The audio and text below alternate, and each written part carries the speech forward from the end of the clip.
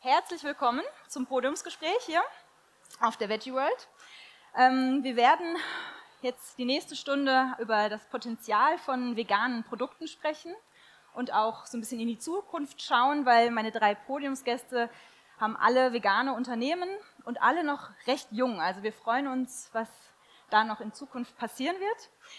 Mein Name ist Simone Fuhrmann, ich bin von Swissweg und ähm, ja, ich freue mich sehr, euch hier willkommen zu heißen. Ähm, ich fange hier kurz an. Das ist Kevin Schmid. Er ist der ähm, Gründer von Outlaws Food und Bakery Bakery. Wird euch gleich noch selber von der breiten Produktpalette erzählen dürfen. Daneben Sibylle Oettiker, Gründerin von Sechai, wenn ich es richtig ausgesprochen habe. Ähm, sie verkauft mit ihrem äh, Unternehmen vegane Schuhe aus Apfelleder. Und der dritte Podiumsgast, Pascal Biri, Mitgründer von Planted, kennen wahrscheinlich die meisten Leute von hier, ähm, ist, äh, Moment, Fleischalternativen aus, ähm, aus Pflanzenproteinen und hauptsächlich aus Erbsenproteinen. Genau. Vielleicht können wir auch eine kurze Umfrage machen. Wer kennt schon Outlaws-Produkte? Bakery, Bakery? Geil.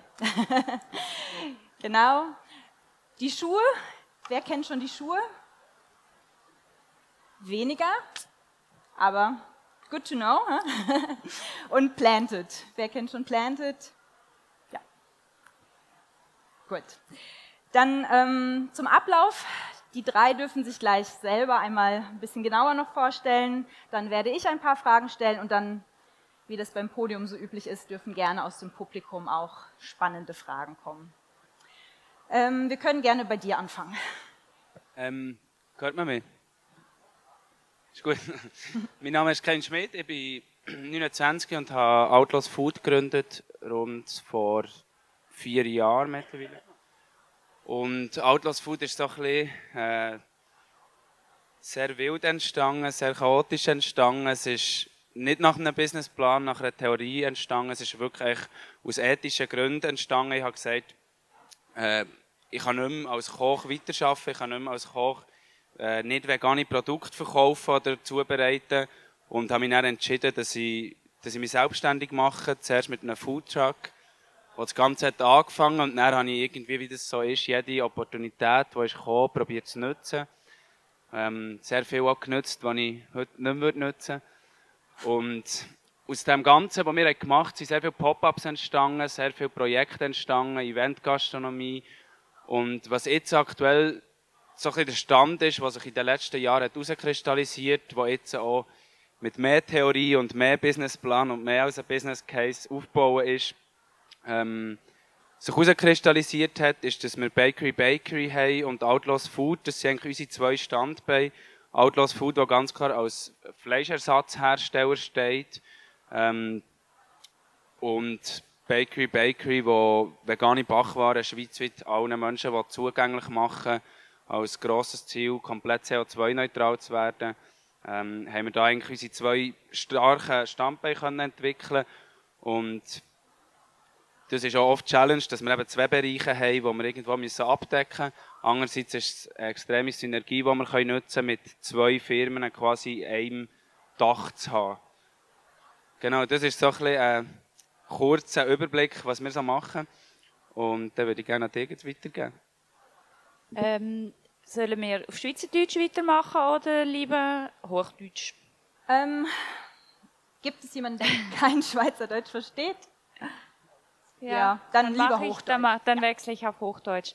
Ja, also hallo zusammen, mein Name ist Sibyl Oettiker und ich bin die Gründerin von Sachet. Ich mache nachhaltige Schuhe aus Apfelleder und ähm, es wundert mich nicht, dass noch nicht so viele Leute hier im Publikum die Marke kennen, weil ich bin noch ganz jung. Ja, ich bin zwar 40 schon, aber mein Unternehmen ist noch ganz jung. Ähm, und zwar habe ich äh, vor gut eineinhalb Jahren äh, nach einem Artikel in der Zeitung, äh, nach einem Zeitungsartikel über die Lederindustrie für mich selber entschieden, dass es in Zukunft eigentlich kein, nicht mehr unbedingt Leder sein muss. Und ähm, ich wollte mir dann ein paar vegane Pumps kaufen, einfach so klassische äh, vegane schwarze Pumps. Da gibt's auch einiges, aber ich habe die Angewohnheit, dass ich ähm, bei Lebensmitteln, auch Kosmetika, so ein bisschen genauer hingucke, wo kommt das her, wie ist es zusammengesetzt? Und dann habe ich festgestellt, dass diese veganen Schuhe eigentlich immer aus Kunstleder und damit aus Plastik sind. Und das ist zwar vegan, aber das ist aus meiner Sicht nicht so nachhaltig und dann habe ich weiter recherchiert und bin auf diese pflanzenbasierten Lederalternativen gestoßen und äh, da gab es auch schon Brands, die irgendwie Taschen und Accessoires hergestellt haben, aber hat noch niemand, der daraus Schuhe gemacht hat, vor allem auch elegante und schöne Schuhe. Und ja, da habe ich mir gedacht, okay, mache ich es halt selber. Und so ist es eigentlich dann aus dieser Idee, ähm, haben wir angefangen, verschiedene Materialien zu testen, ähm, haben gesehen, das funktioniert. Und ja, dann ist aus dieser Idee ein, ein kleines Unternehmen entstanden. Und ich habe ähm, letzten Sommer gelauncht äh, bereits jetzt die dritte Kollektion eigentlich herausgebracht und ähm, die Schuhe gibt es online zu kaufen und seit einem Monat bei Jelmoli und sehr bald dann auch bei Revolve in Zürich und Bern.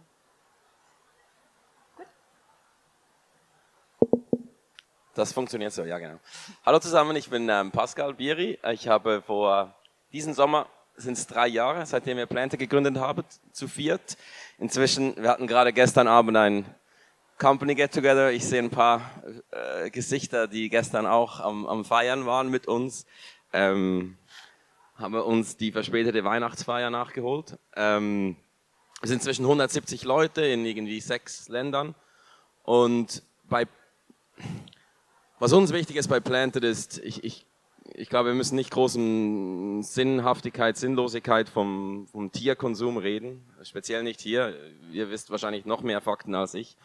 Ähm, aber unser Ansatz bei Planted ist, dass wir über Technologie und wirklich das Wissenschaftsgetriebene ähm, versuchen und über, der Überzeugung sind, dass wir Fleisch aus Pflanzen schlussendlich besser, saftiger, äh, gesünder, sowieso nachhaltiger ähm, und schlussendlich auch günstiger herstellen können als Tierfleisch.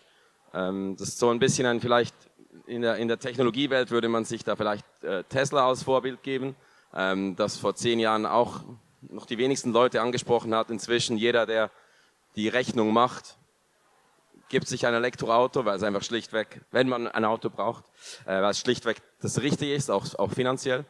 Und ich glaube, wir müssen das Thema Ernährung, das Thema die Auswirkungen unserer Ernährung auf die Umwelt noch viel mehr aufs politische Parkett bringen dass es zum Beispiel in Glasgow kein Thema war, ist super lächerlich.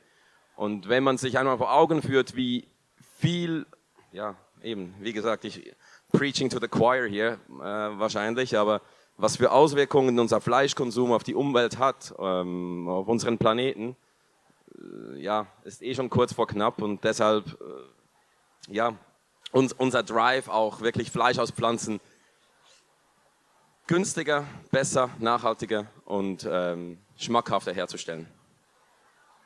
Ja, vielen Dank für eure Vorstellung schon mal.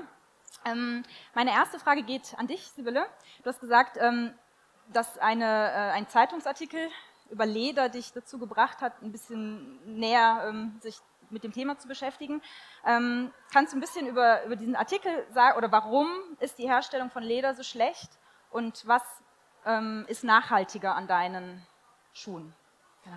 Ja, also ähm, Leder, ich, hab, ich muss vielleicht äh, dazu sagen oder vorab sagen, ich habe eigentlich in der Vergangenheit immer, wenn ich mir irgendwie Taschen, Schuhe oder Gürtel gekauft habe, darauf geachtet, dass es Leder ist, im Glauben, dass das ja nachhaltiges, ähm, natürliches Qualitätsprodukt ist, ein Nebenprodukt der Fleischindustrie und das ist leider schon nicht immer so. Also Leder ist in der, in der Regel nicht deklariert. Das kommt häufig irgendwo aus China oder Indien beziehungsweise dann äh, Bangladesch und neben dem Tierwohl und auch ähm, dem enormen Ressourcenverbrauch äh, der Massentierhaltung haben vor allem eben auch diese, die Gerberei, diese toxischen Gerbereiprozesse extrem negative Auswirkungen auf die Umwelt generell, aber auch auf die Menschen, die dort arbeiten. Also wenn man sich damit mal so ein bisschen vertiefter auseinandersetzt, das ist wirklich grauenhaft, oder? Die Leute, die stehen da in diesen giftigen Tanks irgendwie ungeschützt barfuß, haben häufig irgendwie Haut- und Atemprobleme.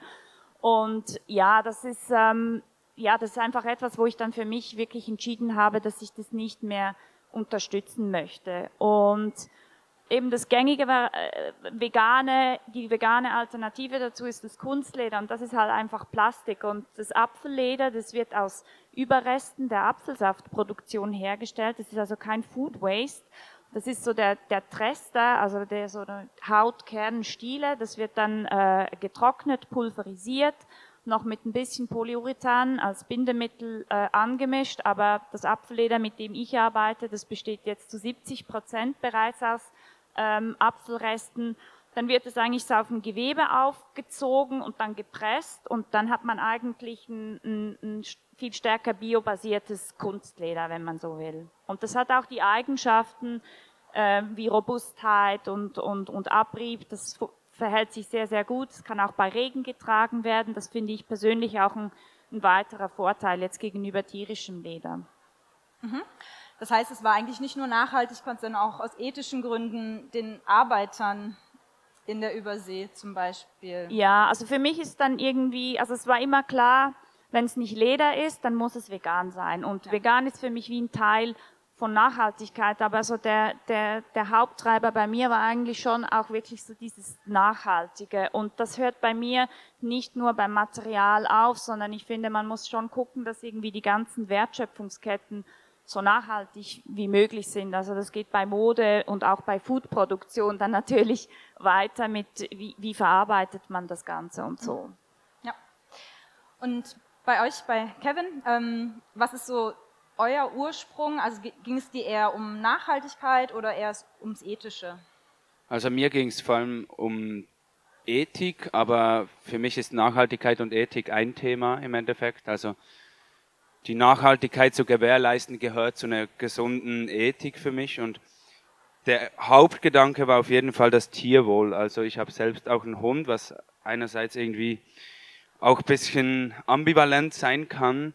Äh, und trotzdem war es für mich irgendwie nicht mehr denkbar, tierische Produkte zu essen, wenn ich mir überlege, ich habe, streiche meinen Hund und habe Schweinefilet auf dem Teller, könnte auch mein Hund sein. Und irgendwie diese Logik stimmt für mich nicht und äh, es geht dann viel weiter über, dass ich es effizient einfach sinnlos finde, dass man irgendwie über, über Tierfutter Tiere ernährt und diese dann isst und so viel Verluste hat oder dass man indirekt den Tier B12 supplementiert und anstatt das direkt zu supplementieren, sind für mich so Sachen, wo ich einfach nicht logisch finde. Und ich bin sehr ein äh, nutzungsorientierter Mensch. Ich brauche jede Handlung, die ich mache, braucht für mich irgendeinen Nutzen oder für jemand sonst. Und, und das nicht gemeint, dass der Nutzen immer Geld sein muss oder so, sondern einfach, es muss Sinn ergeben. Ich habe keinen Grund, jetzt das Glas hier rüber zu stellen, wenn es keinen Sinn ergibt. Und so ist es auch bei, bei meiner Ernährung oder so. Ich, ich will was machen, das irgendwem was bringt und irgendwie unserer Welt was gibt. Und Tierkonsum ist äh, etwas vom Sinnlosesten, das, das man überhaupt machen kann. Also es gibt keinen Grund, schlichtweg keinen einzigen Grund, der dafür spricht. Nicht mal der Geschmack. Ja, da kann ich dir zustimmen auf jeden Fall. Das heißt, du hast dich vorher vegan ernährt und hast dann Outlaws gegründet eigentlich. Genau, ja. also ich habe vegan noch kurz im Restaurant gekocht, in einem Bio-Restaurant und eigentlich sehr gute Produkte verkocht, aber immer noch Fleisch und Milchprodukte und habe gemerkt, dass, dass ich nicht, dass ich das nicht mehr vereinbaren kann. So am Anfang habe ich das, die Soßen zum Beispiel noch probiert, aber das Fleisch nicht mehr und irgendwann habe ich nicht mehr probiert und nur noch gekocht und es war mir auch irgendwie komplett egal, wie das schmeckt, weil ich einfach das nicht mehr wollte. Und das war der Ursprungsgedanke, dass ich ähm, dann auch selbst äh, das Unternehmen gegründet habe. Ja. Macht Sinn. ähm, Pascal, bei euch war, glaube ich, die Entstehensgeschichte ein bisschen anders. Ihr seid ja ein ETH-Spin-Off. Vielleicht kannst du da ein bisschen erzählen.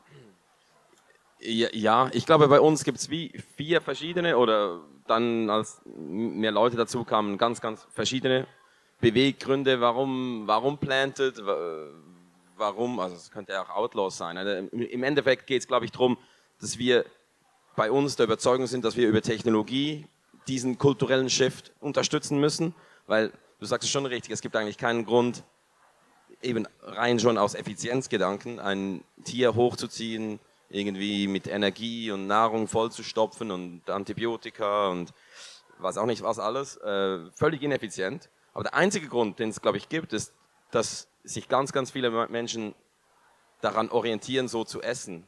Das ist so, so ein kultureller äh, Überbleibsel, oder?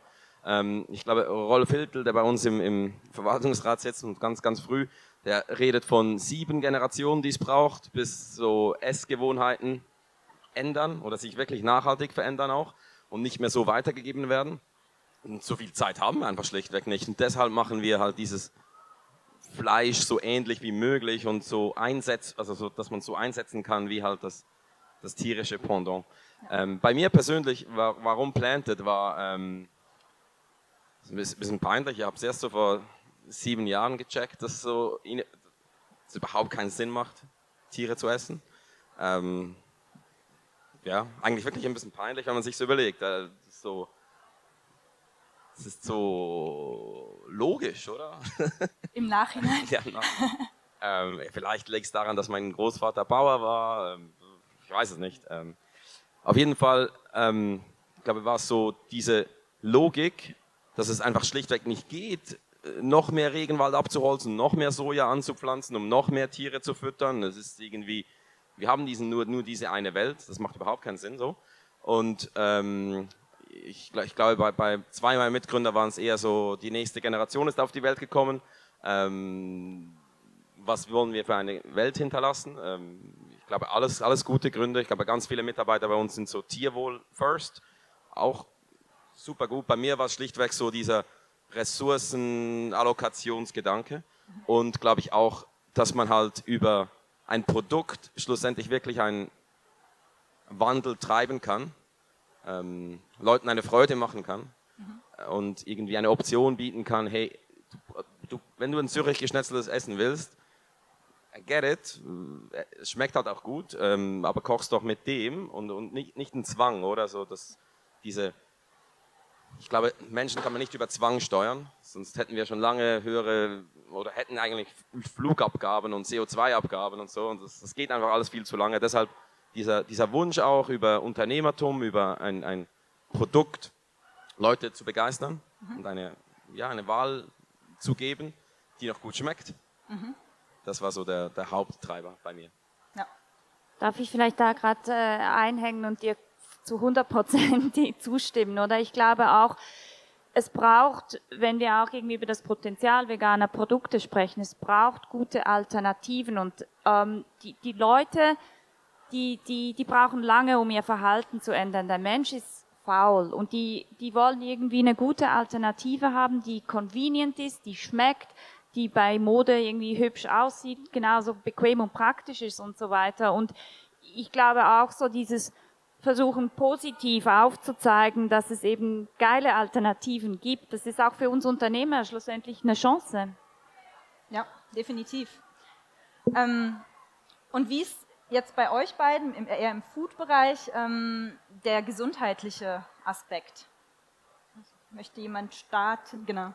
Also bei mir und bei Outlaws war der gesundheitliche Aspekt nie der Hauptfokus. Also es war, wir haben nie irgendwie über die Gesundheit kommuniziert oder so. Wir sind auch hier ein, ein wenig anders als viele anderen Startups im veganen Bereich. Äh, vielen Orten geht es darum, Weizen aus dem Produkt zu kriegen. Ähm, wir sagen, wir haben kein anderes Allergen außer Weizen. Ähm, es grade, wir haben gerade unsere neuen Guidelines für unsere Produkte erschaffen und es war wirklich der Konsens im Team, dass wir weiter mit Weizen arbeiten wollen, weil wir es eine sehr nachhaltige Ressource finden. Also kommt wieder der Nachhaltigkeitsaspekt und auch, dass die Gesundheit von Weizen halt nicht per se irgendwie schlecht ist, sondern der Ruf schlecht ist. Und deshalb sind wir auch daran, gewisse Studien zu machen und Auswertungen zu machen, dass wir aufzeigen können, Weizen nicht gleich Weizen und Verarbeitung hat auch einen Einfluss. Und hier ist wieder spannend, dass wir auch die Bakery Bakery haben, wo wir eigentlich ausschließlich den Weizen zum Nutzen machen, gemacht haben. Und zum Beispiel bei der Sauerteigproduktion oder fermentierte Teige passiert etwas bei diesem Steh Stehprozess. Mhm.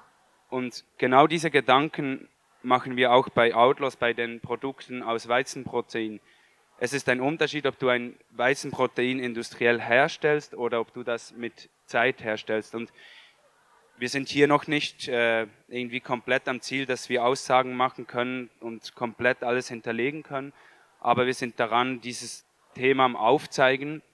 Und zusätzlich haben wir unsere Produkte mit Vitamin D neu jetzt gerade, mit B12 und Eisen angereichert und ein Proteinwert von rund 28, 29 Gramm pro 100 Gramm. Also ich würde definitiv sagen, dass fast jedes vegane Produkt immer noch gesünder als Fleisch ist. Ich würde es nicht sagen, dass, dass es jedes ist, das wäre zu weit aus dem Fenster gelehnt, aber der, Grund, der Grundsatz ist auf jeden Fall so, dass Fleisch, ich stelle es mir halt auch einfach vor, was passiert, wenn ich Fleisch irgendwo stehen lasse und das einfach mal eine Woche, zwei Wochen, drei Wochen stehen lassen. Es stinkt, es moddert, es, es wird wirklich so richtig ekelhaft. Und was passiert, wenn ich ein Gemüse stehen lasse? Es schimmelt vielleicht ein bisschen und that's it so. Und das passiert ja auch im Bauch.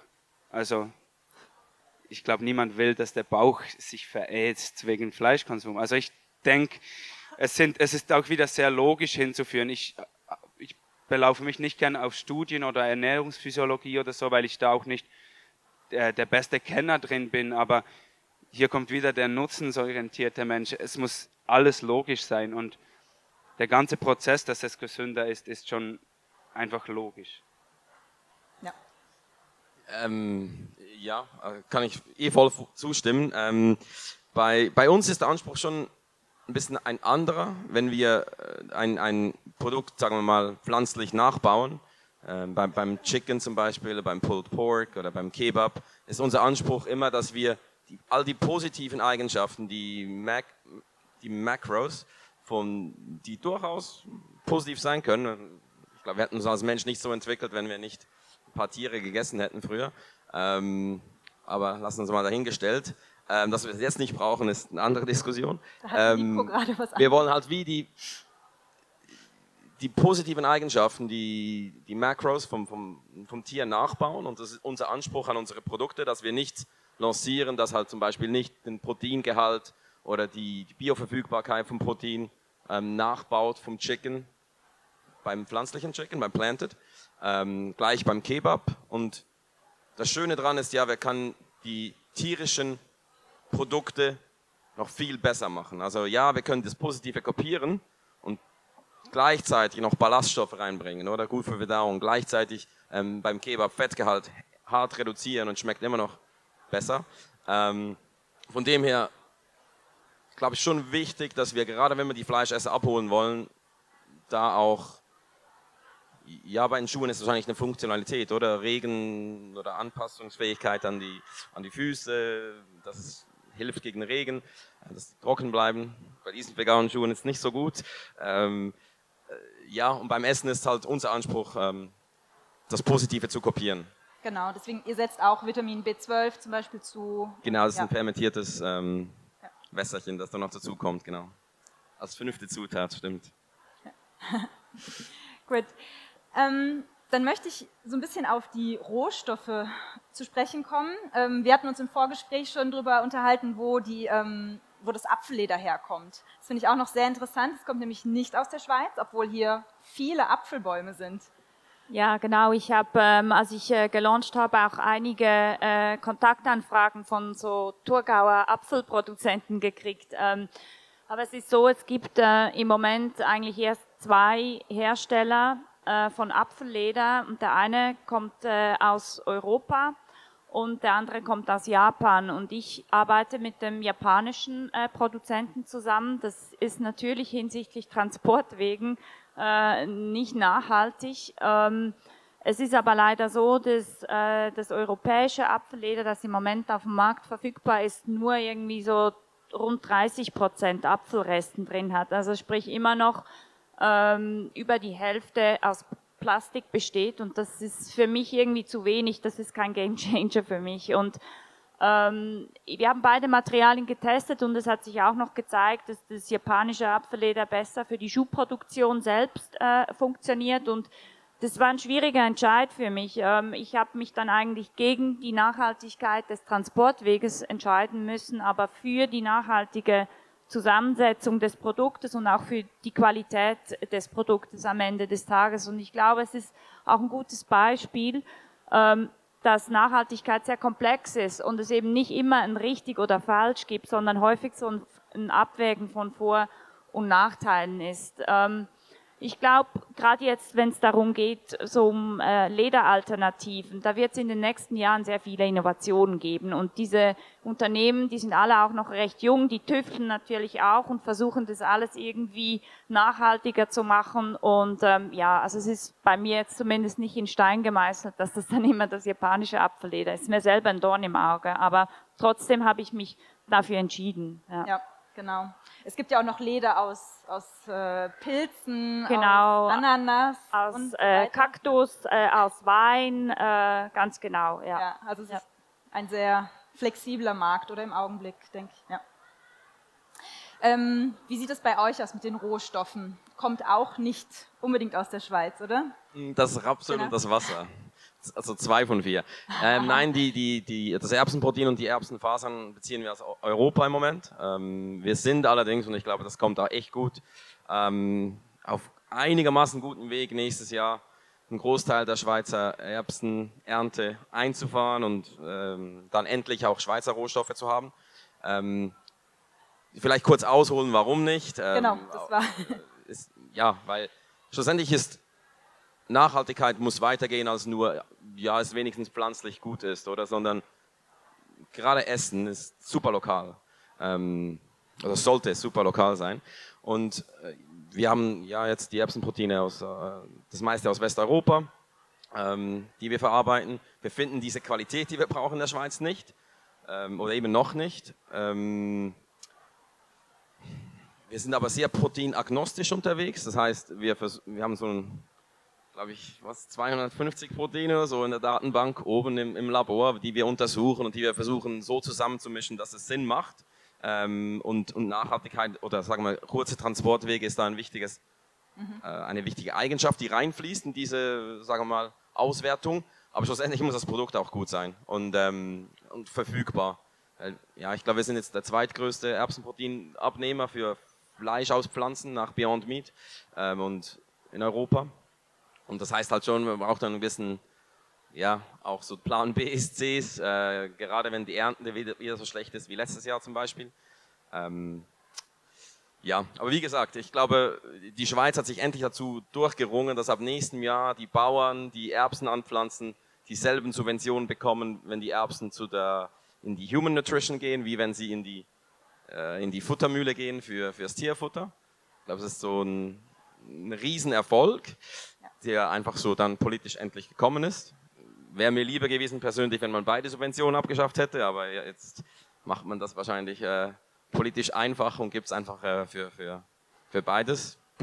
Ähm, ja, und ich glaube, da ist super wichtig, dass wir auf diesem Weg weiter pushen, weil was, was jetzt passiert mit, dem, mit der super Tragödie in der Ukraine, diesem Krieg, oder dass irgendwie 30 Prozent des Weizens weltweit aus dem dem Handel geht oder in, aus, der, äh, aus dem Angebot. Äh, man sieht so, Hühnchenbrust aus Brasilien ist in der Zwischenzeit 80 Prozent gestiegen im Preis. Also wir sehen so, wie diese Auswirkung, mittelgroße, schon riesige Auswirkungen hat auf das, das wirklich billige Fleisch. Und ich glaube, wir werden es schaffen, so viel schneller noch diese Preisparität hinzukriegen als wir es halt, ähm, ja, sagen wir mal, mit dem alten, subventionierten Steuergeldsystem geschafft hätten. Ja, genau. Ist das bei euch ein Thema? Also bei uns haben wir die Rohstoffe aus Europa und zum Glück ist unser Weizen nicht aus der Ukraine. Ähm, haben wir wirklich gerade Glück gehabt, aber wir haben auch diesbezüglich vielleicht noch kurz einen Abschweif unsere Flaschenproduktion für die Eisteflaschen. Mhm ist ein Werk in Ukraine, was nicht mehr liefern kann jetzt, äh, respektive gar nicht mehr existiert. Und das sind Probleme, die im Endeffekt dann viele anderen Hersteller direkt halt ausnutzen und direkt Preiserhöhungen machen von 50 bis 150 Prozent. Ähm, und das ist schon krass. Also die Warenverfügbarkeit auch bei Verpackungsmaterialien so ist ein Riesenthema. Und aktuell ist es halt so, dass wir als Startups und gerade auch noch ein bisschen kleinere Startups wirklich kämpfen müssen, irgendwie die Rohstoffe zu sichern oder die Verpackungsmaterialien zu sichern, erst recht die nachhaltigen Verpackungsmaterialien, welche sowieso extrem gefragt sind. Und bei unseren Produkten selbst sind, wie gesagt, die, die Rohstoffe aus Europa und die, wir arbeiten daran, dass das Protein aus der Schweiz kommt komplett. Es hat Schweizer Anteil dran, aber es ist aktuell einfach noch nicht genügend trennbar. Also es hat mehr mit der Produktion, der Herstellung zu tun.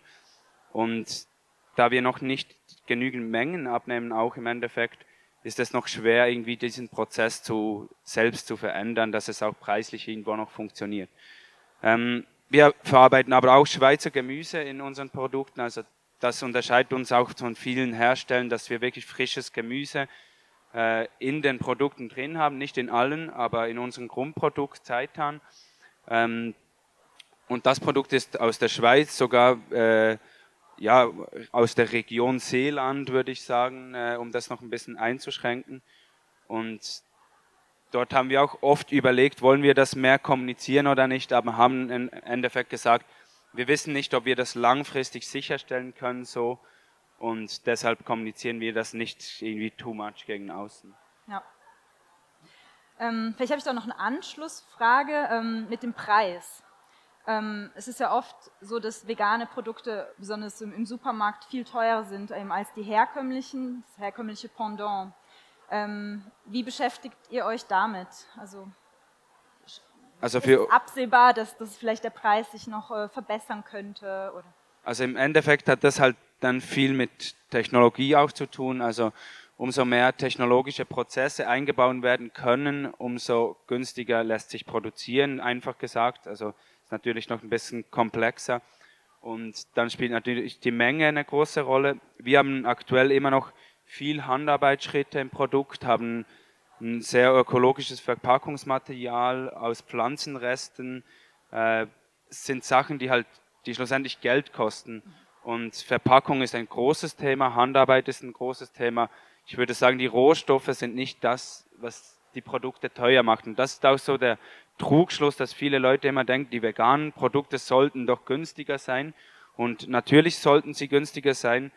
Aber eigentlich finde ich, sollte man sich mehr die Frage stellen, sollten nicht alle Lebensmittel teurer sein? Also für mich ist eigentlich der falsche Weg, dass wir mit den Preisen immer weiter runter müssen, sondern wir müssen vielmehr die Frage stellen, was haben wir für ein Verhältnis von unserem Einkommen?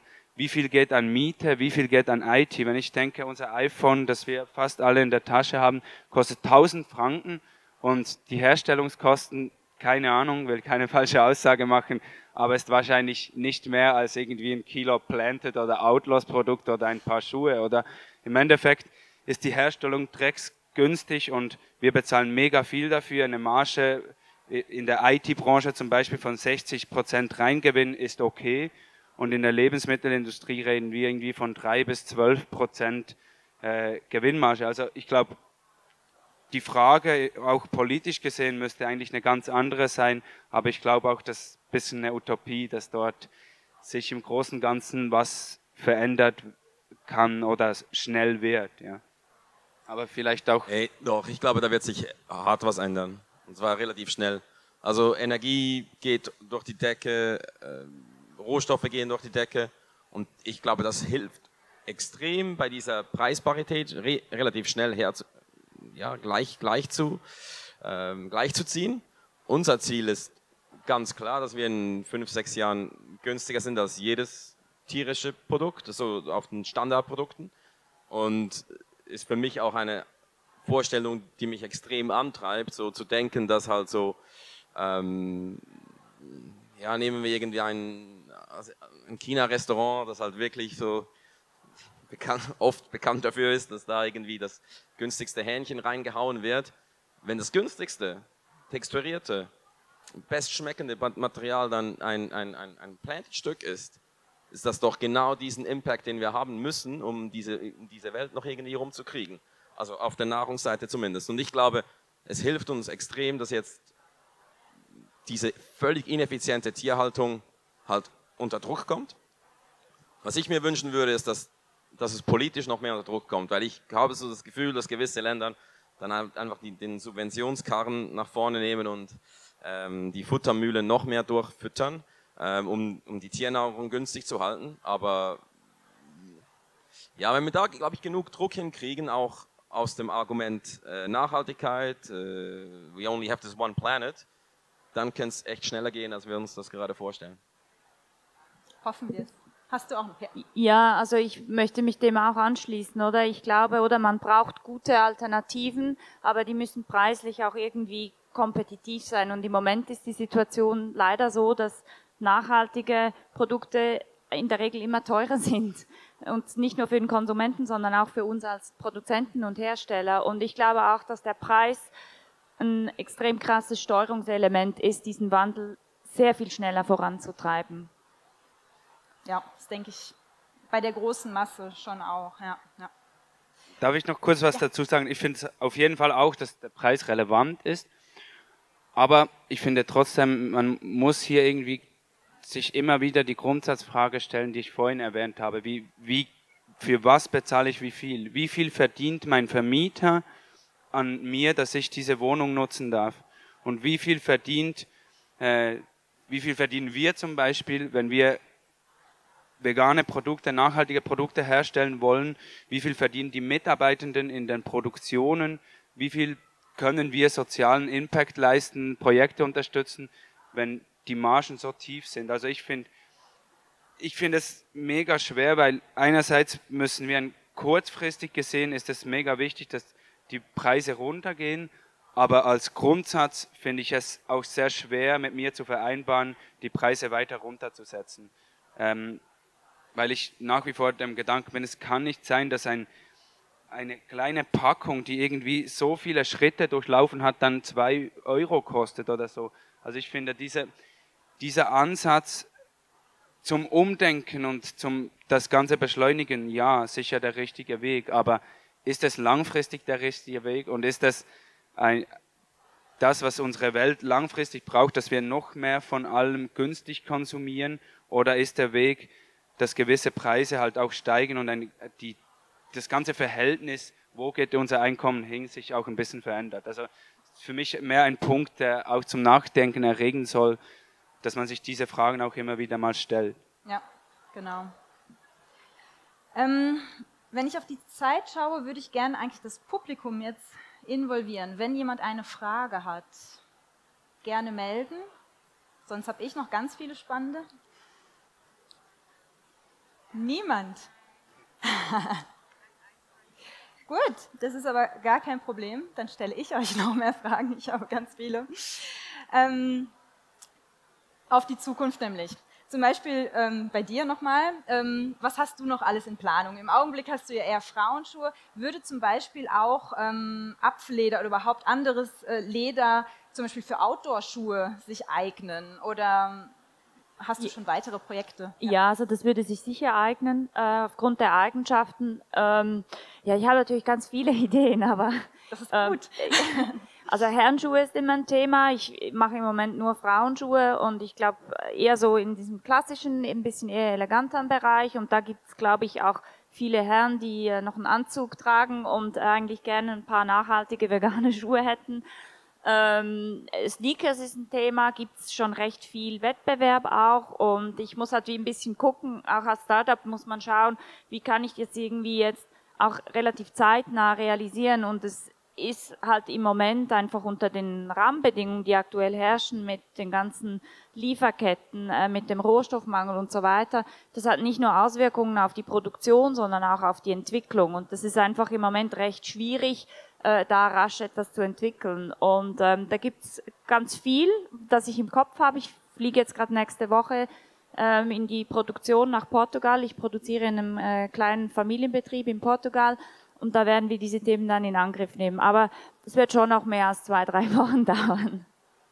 Gut, wir freuen uns auch. ähm, und bei dir, Kevin? Ähm, ihr habt ja schon verschiedene Richtungen ausprobiert, hast du gesagt. Ähm, ich finde jetzt besonders spannend, Bakery Bakery ist jetzt im HB.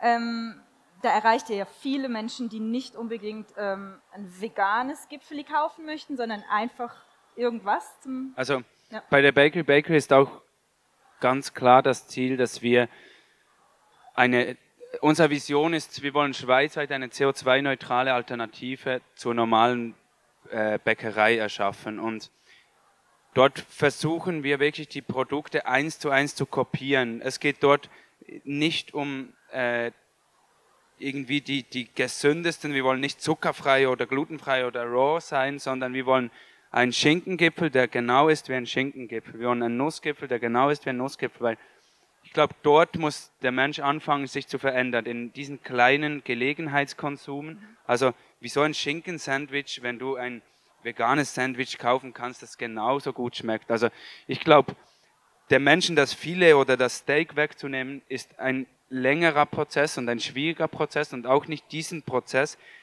Das sind meistens nicht die Produkte, die aus der riesen Massenindustrie kommen, sondern mehr Produkte, die für die die Menschen auch gerne mal Geld ausgeben. Und bisschen nachhaltiger sind. So nachhaltig, wie das halt geht im Fleischbereich. Und ich glaube, mit Sachen, wie ihr gestartet habt, mit geschnetzeltem Döner, wo wir auch damit gestartet haben, Döner, geschnetzeltes, äh, Nussgipfel oder Produkte, die einfach zu ersetzen sind, die du keinen Verzicht verspürst, also die du einfach konsumieren kannst in einem, Geschnet, in einem Zürich geschnetzelten oder in einem Kebab mit Soße dann, dann hast du nicht das Gefühl, ah, ich muss auf irgendwas verzichten, weil wir sind sehr gewohnheitsorientiert. Mich fragen auch viele Leute, wieso muss das immer wie Fleisch, ne, ne, ne, die tausendmal Frage, die wir nicht mehr beantworten wollen. Und eigentlich ist es so logisch, dass wir, wir sind dann seit Jahren an das gewohnt. Wir sind so aufgewachsen und das ist, unsere Teller müssen gefüllt sein mit Stärkebeilage, Gemüse und Fleisch. Es ist, und sonst fehlt irgendwas. Und ich glaube, um dies herzustellen, müssen wir Fleischersatzprodukte herstellen. Und ich glaube auch, dass das eine Übergangsphase ist, Fleischersatzprodukte. Ich glaube, es wird es, keine Ahnung, wie viele Jahre, vielleicht 20, vielleicht 50 Jahre, vielleicht zwei Generationen, drei, ich kann es nicht sagen, geben und kann mir aber auch gut vorstellen, dass sich dann eine Ernährung entwickeln wird, die nicht mehr auf Ersatzprodukte basiert, sondern ganz neu gedacht ist. Ähm, es sind viele Forschungen in diesem Bereich am Laufen, mega spannend. Es gibt sehr viele Theorie, aber aktuell ist es trotzdem noch Glaskugel lesen und äh, nicht, man kann es nicht genau sagen, oder? Also, aber ich glaube, äh, es ist eine Frage der Zeit, wie lange wir Fleischersatz konsumieren, aber sicher noch genügend lange, dass, dass es Sinn macht, noch da weiter aufzubauen, auf jeden Fall. Ja. Und bei euch, ihr seid jetzt nämlich schon in sechs Ländern. Mhm. was sind eure Pläne? Ähm, ich glaube, Kevin sagt es ganz gut, ähm, Touchpoints zu kreieren mit, mit Konsumenten. Also mit, mit sei es am, am Habe, mega geil, diese Bakery, oder? Weil ja, es geht einfach darum, ich glaube, der Mensch will, ja, dann will man einen Gipfeli zusammen Kaffee. Da musst du diese Leute abholen, die sich eigentlich nicht kümmern, ob da Butter drin ist oder nicht, aber gibst halt einen ohne Butter, oder? Ähm, so eines meiner Lieblingsprojekte letztes Jahr bei uns war ähm, der Currystrudel, den wir zusammen mit einer Großbäckerei gemacht haben. Äh, ähm, aber da geht es halt darum, dass wir auf Tankstellen, in, bei, bei Bahnhöfen, auf dieser heißen, auf dieser Hot Snack Theke liegen, oder? Und wenn man da eine bessere, in, in, Zukunft, ich weiß, Preis sollte nicht alles sein, aber sagen wir, es ist günstiger als das, das mit 20 Gramm zerschnetzeltem Tier drin, irgendwie pflanzlich, schmeckt besser. Dann haben wir es geschafft. Oder dann kommen wir dahin und, und bringen, glaube ich, die Leute zu diesem nachhaltigen Konsum über eine Wahlfreiheit, nicht über Zwang. Ähm, wie es mit Planted weitergeht, ähm, wir, wir sind so schnell aus der Schweiz rausgewachsen, auch weil unsere Proteine aus Europa kommen. Ich glaube, es ist wichtig, dass wir schlussendlich dann da produzieren, wo die Proteine ähm, wachsen und wo die Nachfrage ist. Die nächste Produktion planen wir gerade im, im europäischen Raum, ähm, nördlich von hier. Ähm, die, die, Schweizer Produktion haben wir gerade ausgebaut. Das machen wir jetzt 1000 Kilo die Stunde in Kemptal. Die ist übrigens unter einem Glashaus gebaut. Äh, kann man im Planted Bistro Mittagessen und zuschauen, wie nebeneinander Planted produziert wird. Da sind sehr transparent drauf und äh, mega, mega stolz, dass wir da Leute begrüßen dürfen, auch Vereine und Gruppen und so. Also ähm, ich, dass diese Produktion weiter Vollgas äh, läuft, ist klar. Ich glaube, hoffentlich gibt es dann auch noch eine, eine, zweite Schweizer Produktion, aber ich glaube, diesen, was uns ausgezeichnet hat, unter anderem ist, glaube ich, dieser Mut, die, ein bisschen in die Zukunft zu schauen und zu sagen, okay, in einem Jahr haben wir dreimal so viel Nachfrage, also bauen wir jetzt für die dreimal Nachfrage. Ähm, dafür braucht es natürlich auch Investoren und deshalb sind wir so auf diesem ein bisschen Hyperloop äh, ähm, gefast-tracked, aber ähm, ja, schlussendlich geht es darum, Touchpoints zu kreieren und ob jetzt die in, in, in, in London sind, in einem Drei-Sterne-Restaurant oder wenn man aus der U-Bahn steigt und irgendwie ein Würstchen im, im Brot kauft. Äh, diese, diese, all diese Touchpoints wollen wir kreieren und irgendwie äh, möglichst mit unserer Marke in Verbindung bringen. Ähm, und wie seht ihr das so mit der Konkurrenzentwicklung? Also euch beiden, ihr seid ein bisschen Konkurrenz, aber doch habt ihr ein bisschen eine andere Zielgruppe. Ähm, Seht ihr viele neue Startups? Ähm, wie seht ihr das, wenn die Großen, die Detailhändler ihre Eigenmarken machen? Ähm, möcht, möchtest du starten? Ja. Darf ich kurz? Ja. Ähm, ich glaube, Eigenmarken ist sowas, das halt passiert, wenn ein, ein Produkt eine Commodity wird, wenn es meine Hühnchen kann jeder großziehen und schlachten und dann kann man es irgendwie unter der Eigenmarke mit weniger Marge anbieten oder unter einer Marke und darauf versuchen, etwas zu erzählen, einen Mehrwert zu erzählen. Ähm, ich glaube, unsere Produkte haben im Moment den Anspruch auch an sich selbst, dass wir über die Marke was Zusätzliches kommunizieren können.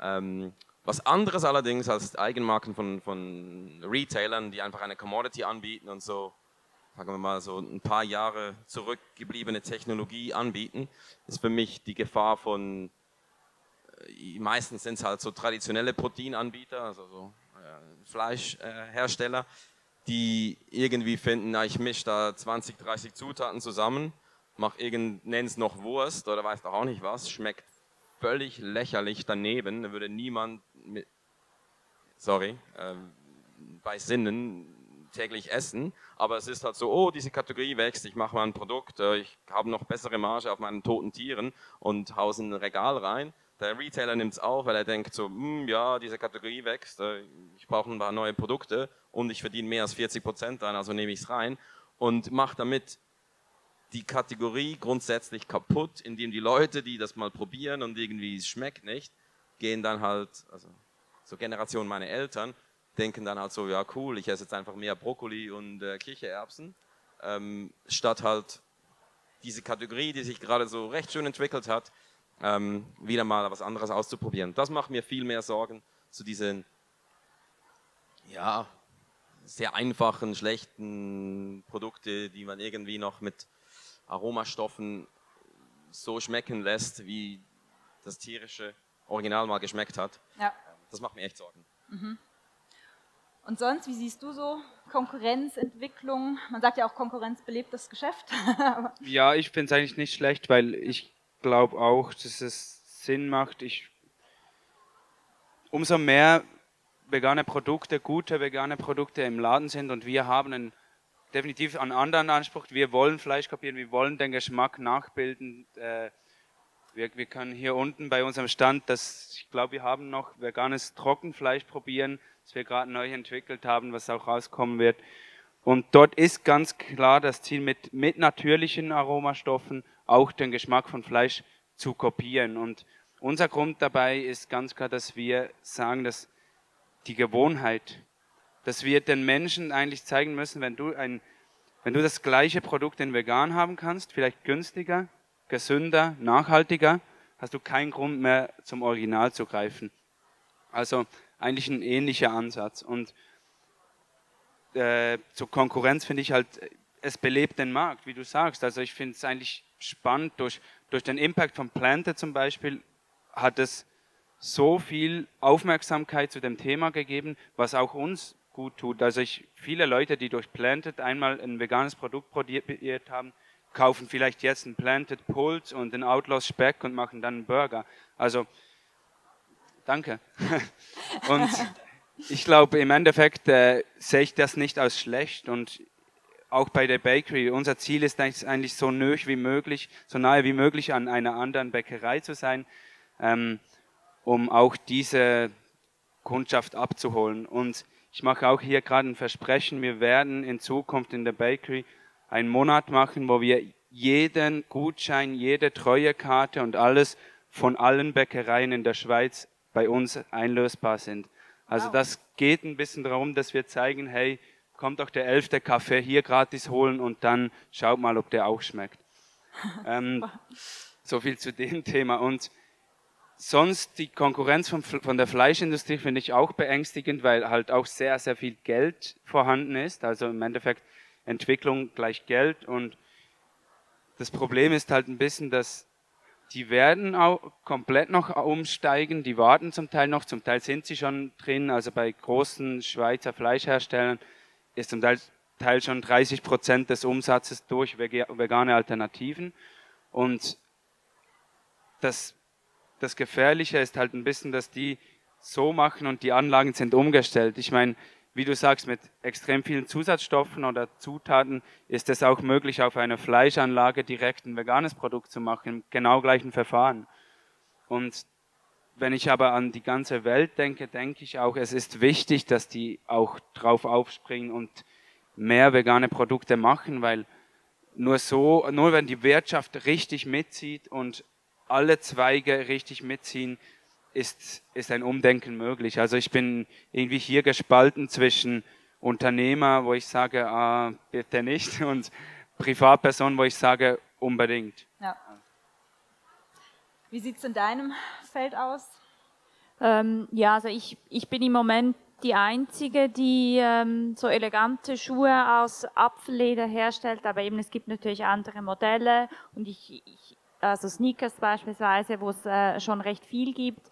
Ähm, und ich glaube auch, es ist eine Frage der Zeit, bis dann irgendwann auch die großen Brands irgendwie das machen werden. Und äh, das wird wahrscheinlich dann so laufen, so in dem kla klassischen Greenwashing, dass man sich dann irgendwie so ein Modell rauspickt und einfach das Material ändert und dann das als wahnsinnig nachhaltig verkauft. Ähm, ich glaube, wie als Marke kann man sich versuchen abzusetzen, indem man halt wirklich irgendwie sagt, ja, bei uns ist es nicht nur das Material, sondern wir versuchen, sind auch die, die Arbeits-, die fairen Arbeitsbedingungen und so weiter. Und ich glaube, so schnell haben dann die großen Konzerne gerade diese Prozesse nicht umgestellt. Und da ist es aber, glaube ich, auch in der Verantwortung dann des Konsumenten, das irgendwie zu erkennen und auch wertzuschätzen. Wir hätten jetzt noch einmal Zeit für eine Frage aus dem Publikum. Ah, Moment. Ich nehme mir das mal. Pascal, bis jetzt von dir, ja. Echo. Oder du müsst einmal hier hin. Genau. Besser. Ja, besser. Pascal, bis jetzt haben ihr ja ähm, mit eurem Fleisch hauptsächlich Processed Meat ersetzt. Wie schaut es bei euch in der Forschung aus äh, in Bezug auf High-Quality Meat, Steak-Ersatz, Filet-Ersatz und so weiter? Ist das etwas, wo ihr in der Richtung gern forscht und wie schaut es aus im Prinzip? Ja, die, dieses Steak ist so der heilige Gral, ähm, sagen wir immer. Und unser Anspruch ist halt nicht, dass wir so dieses, ähm, wie sage ich jetzt das, ohne ein anderes Produkt zu erwähnen? Ähm, hey, also, nicht, nichts gegen den Weizen, gell? Also, aber äh, so ein Glutensteak herzustellen, das schafft man. Also ich glaube, da musst du nicht allzu lange an der ETH oder in Wädenswil gewesen sein, um ein, ein so ein Steak herzustellen, den man jetzt, das man jetzt kaufen kann. Es äh, ist einfach nicht unser Anspruch, wenn wir Fleisch aus Pflanzen machen. Unser Anspruch wäre dann, dass es ähm, diese kleinen Explosionsmomente im Mund, wenn man in einem Tier isst, dass, dass es dann das auch abbildet. Ähm, dass es ähm, vielleicht unregelmäßige Fettschichten drin hat, die nicht einfach schmelzen und ins andere Gewebe übergehen, wenn man es erhitzt, was bei Pflanzen halt oft noch der Fall ist. Und da arbeiten wir an verschiedenen Technologien, haben jetzt gerade zwei Patente in, in Kanada ähm, dazu holen können ins Portfolio. Da arbeiten wir drauf, auch das Science Team, dass wir ähm, diese Technologien integrieren Äh, Im Moment, was die nächsten Produkte sind, die wir machen oder die rauskommen, sind so eher in Richtung größere Chickenstücke, die zusammen wachsen. Also ohne die Inhaltsstoffe zu oder mehr Inhaltsstoffe zu verwenden ähm, oder irgendwie noch, noch Gluten dazu zu nehmen, um das irgendwie größer zu machen, ähm, wollen wir größere Faserungen herstellen, so Chicken Tender Style, und die dann lancieren. Also das kommt noch dieses Jahr. Und halt allgemein sind wir der Überzeugung, dass wir über Technologien, sei das Mycelium, sei das also Pilze oder gewisse Fermentationsmöglichkeiten, gibt uns die Natur und die Wissenschaft noch echt viele Möglichkeiten, näher ans Original oder ans Tier herzukommen. Hattest du die Frage beantwortet? Gut. Gut, dann sind wir leider schon am Ende unserer Zeit angekommen. Ähm, ich danke euch ganz, ganz herzlich für eure Zeit und wünsche euch noch ganz viel Erfolg und viel Freude auf jeden Fall bei euren Projekten. Dankeschön.